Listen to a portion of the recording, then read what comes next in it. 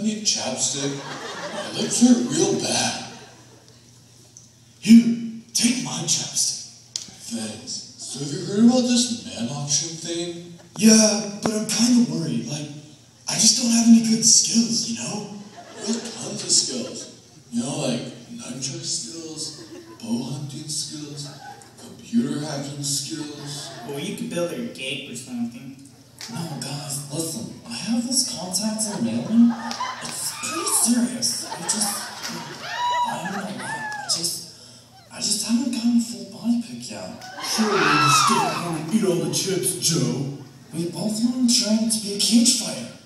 You have the worst reflexes ever. Guys, guys, I know what we're gonna do. Please,